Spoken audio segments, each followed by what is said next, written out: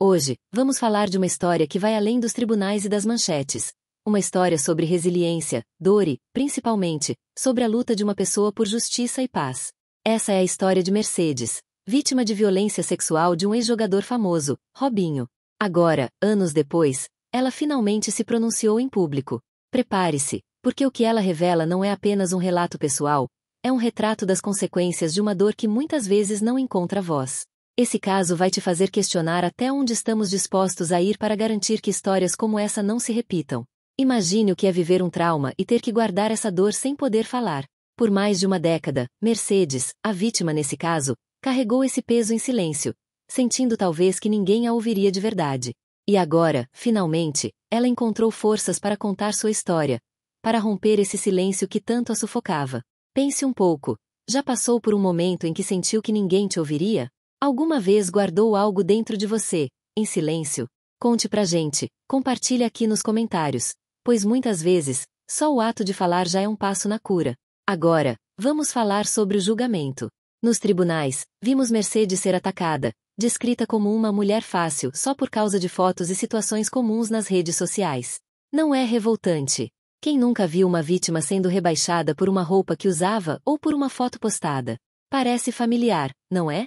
Conte aqui nos comentários o que você acha dessa estratégia de defesa. Você já presenciou ou passou por algo parecido? Essa troca é importante, pois só assim podemos entender as marcas que a descredibilização pode deixar na vida de uma pessoa. E agora, vamos refletir sobre o processo de superar um trauma como esse. Mercedes revelou que, mesmo com a justiça sendo feita, ela não consegue o superar completamente. E isso traz uma pergunta que todos nós podemos nos fazer: Será que é possível superar algo assim, de verdade? Quando falamos de traumas, isso significa carregar cicatrizes que, muitas vezes, permanecem para sempre. Se você já passou por um processo de superação, ou conhece alguém que enfrentou algo parecido, conte pra gente. É possível seguir em frente totalmente? Ou isso deixa marcas para sempre?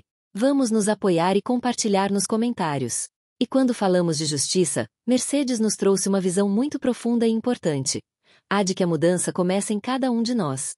Ela diz que, se quisermos evitar que outras pessoas passem por situações semelhantes, precisamos educar as próximas gerações, falar sobre respeito e empatia desde cedo. O que você acha? Comente aqui o que acredita ser o papel da educação em casos assim. Quem sabe possamos inspirar uma mudança real, que começa agora, nessas conversas que temos, seja nos comentários, seja em casa. Por fim, vamos falar de um tema delicado e poderoso: o perdão.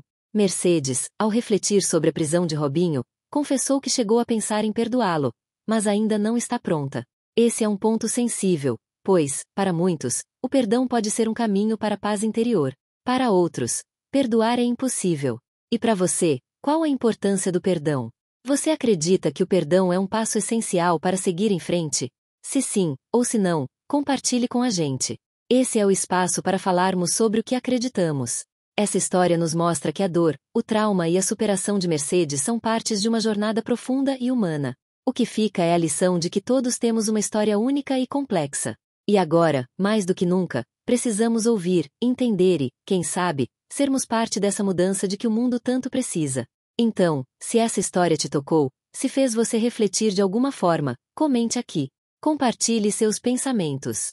Cada palavra conta, e juntas, elas podem inspirar a empatia que tanto buscamos. A decisão de Mercedes em vir a público após anos de silêncio sobre um trauma tão profundo como a violência sexual é um testemunho de coragem. Viver e reviver essa dor em cada frase, saber que ela será julgada não só pelo crime que sofreu, mas pelo fato de se pronunciar, requer uma força que poucos são capazes de compreender. Neste aspecto, Mercedes representa um número incalculável de vítimas que ainda se mantêm em silêncio, seja por medo, vergonha ou desconfiança nas instituições. A voz dela, ao finalmente ser ouvida, ecoa como um apelo à justiça e à empatia, pedindo uma sociedade que reconheça a gravidade desses atos e tome medidas reais para combatê-los. É preciso valorizar o testemunho das vítimas em um mundo onde, frequentemente, as mulheres são desacreditadas ao relatarem abusos e violências. Essa descrença torna-se, muitas vezes, um segundo trauma. Quantas outras Mercedes estão à espera de serem ouvidas e levadas a sério? Em cada relato há uma experiência de dor e superação que vai além dos tribunais. O caso Robinho é um exemplo claro de como, muitas vezes, a defesa dos acusados tenta desviar o foco dos atos cometidos, desqualificando a vítima. Usar fotos e comportamentos de Mercedes para retratá-la como alguém fácil é uma prática lamentável, que ignora o consentimento como um direito fundamental. Isso nos remete a uma mentalidade que insiste em culpar a vítima, transferindo a responsabilidade do crime para quem foi atingido. Este tipo de estratégia faz com que muitas vítimas escolham o silêncio ao invés da denúncia, porque o medo de serem humilhadas supera a esperança de justiça. Esse é um problema que transcende o caso específico e representa um desafio para o sistema judiciário e para toda a sociedade. Como podemos pedir que as vítimas denunciem quando o sistema está preparado para julgá-las e humilhá-las, muitas vezes mais do que aos próprios agressores? Mercedes menciona que, apesar dos anos, não consegue superar completamente o que aconteceu. Esse sentimento é comum entre sobreviventes de violência, pois os traumas deixam marcas invisíveis que não desaparecem com uma sentença ou com o tempo. Superar uma agressão desse tipo envolve uma reconstrução emocional e psicológica que nem sempre tem um fim definitivo. É como uma ferida que pode cicatrizar, mas sempre deixará uma marca. A sociedade tende a ver a punição como o fim de um caso, mas para a vítima, o fim do processo judicial não significa o fim do sofrimento. Cada vez que uma história como essa é contada, é uma oportunidade para todos nós refletirmos sobre a necessidade de apoio psicológico e social para as vítimas. O reconhecimento de que a dor persiste é, talvez, o primeiro passo para que possamos realmente apoiar quem passou por situações assim. A justiça desempenha um papel essencial na validação das experiências das vítimas. No entanto, Mercedes nos lembra de que chegar à sentença não é suficiente. Sim, é um alívio saber que o culpado foi condenado, mas o que realmente importa é garantir que esses crimes não aconteçam.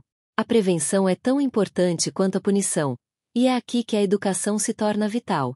A justiça pode condenar e colocar os culpados na prisão, mas é a educação que pode impedir que novos agressores surjam. Precisamos de um sistema que ensine desde cedo o valor do respeito e do consentimento, que mostre que qualquer forma de violência é inaceitável. Talvez assim possamos ver uma sociedade onde o número de casos de violência sexual diminua drasticamente, porque as crianças de hoje se tornarão adultos conscientes amanhã. Um dos pontos mais sensíveis que Mercedes aborda é a questão do perdão. Ela menciona que pensou em perdoar Robinho, mas que ainda não está pronta. O perdão é uma escolha pessoal, e cada pessoa tem seu tempo para chegar a ele, ou decidir não perdoar. Perdoar não significa esquecer ou minimizar o que aconteceu. Ao contrário, é um ato de libertação que a pessoa faz para si mesma, mas que não é obrigatório. A resiliência de Mercedes, sua capacidade de continuar sua vida, é inspiradora. E o fato de ela não estar pronta para perdoar deve ser respeitado. Cada pessoa lida com o trauma à sua maneira, e o perdão só pode ser real quando é sincero, não quando é forçado. Mercedes, ao admitir suas fragilidades e seu processo, nos lembra que a vulnerabilidade também é uma forma de força. A violência sexual é um tema que muitas vezes é evitado, por ser considerado pesado demais ou por causar desconforto. No entanto, são histórias como a de Mercedes que nos mostram que o silêncio só perpetua o problema. Precisamos conversar sobre esses temas, e mais do que isso, precisamos ouvir as vítimas. Somente ao quebrar o silêncio podemos começar a construir uma sociedade que valoriza o respeito e a dignidade de cada indivíduo. Ao contar sua história, Mercedes não só busca justiça para si mesma, mas também representa muitas outras pessoas que, por diversos motivos, não podem ou não conseguem falar. Ela nos lembra que, ao compartilhar nossas experiências e ouvir as dos outros, podemos construir uma rede de apoio e empatia que é fundamental para enfrentar as dores mais profundas. É importante notar que Robinho era uma figura admirada e respeitada no mundo do futebol. Quando figuras públicas cometem crimes, há uma tendência a minimizar o que aconteceu, ou até a defender o agressor. Isso cria uma cultura de impunidade que permite que abusos continuem ocorrendo. Precisamos de uma mídia que trate esses casos com a seriedade que merecem e que ajude a conscientizar a população sobre a gravidade da violência sexual. O papel da mídia aqui é fundamental, porque é ela quem ajuda a moldar a opinião pública. Casos como o de Robinho são uma oportunidade para discutir a importância do respeito e do consentimento, e para mostrar que ninguém está acima da lei. A mídia pode e deve ser um aliado das vítimas, ajudando a difundir informações e a desmistificar os estigmas em torno da violência sexual.